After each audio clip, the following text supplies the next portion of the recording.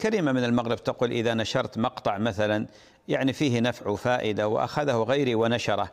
يعني هل الأجر يكون له أم لي؟ أم نشترك في الأجر؟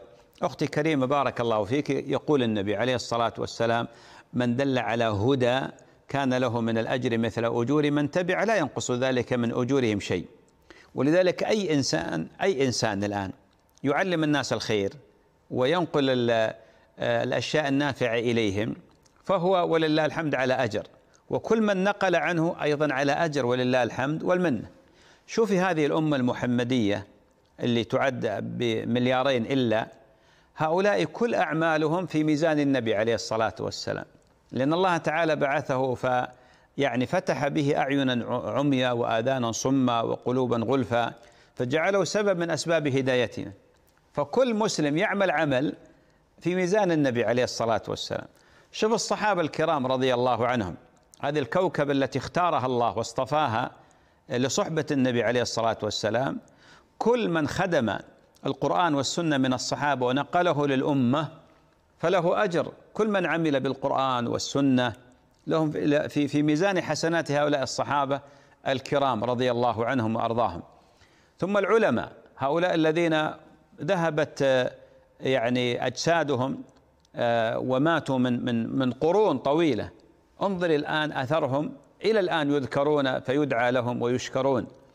لماذا؟ لأنهم نقلوا هذا الدين ونقلوا هذا الهدى للناس. كذلك الإنسان حتى لو كان عاميا ما دام أنه نقل نقل صحيح فله الأجر. ومن ينقل عنه له الأجر أيضا. وهذا الذي نقل عنك أنت تأخذين أجره وأجر من اهتدى على يديه. ولذلك هذه الهداية للأسف الشديد كثير من الناس يغفل عن مثل هذا الأمر. الدلالة على الخير والدلالة على المعروف والدلالة على العمل الصالح. أهم شيء أن يتأكد الإنسان من أن هذا ثابت وارد في القرآن أو ثابت في السنة وينشره بين الناس. يعني بعض الناس الآن يقول أنا ما أدري إيش حاب يعمل عمل طيب قد يكون عامي قد يكون إنسان ليس له حظ ونصيب من العلم الشرعي.